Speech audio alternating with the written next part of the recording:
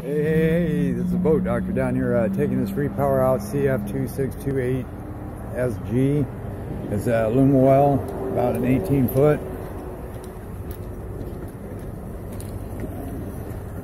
Tire pressure looks a little low. Again, this is a repower.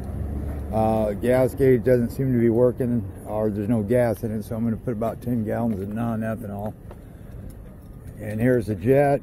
I think it's too high if you look at the shoe here, we'll see maybe needs to be lowered. He did put a splash guard on it, uh, reverse bucket, uh, the nozzle here, the reverse bucket itself. And reverse, it's not lined up. Forward, at least it locks. That's more important because you don't want that to blow out. Uh, but if you hit it too far, it could back out of in reverse. So we'll see. Um, dual battery switch, I'll make sure I turn that off.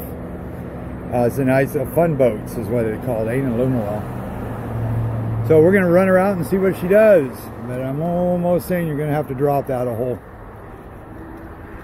Boat doctor out.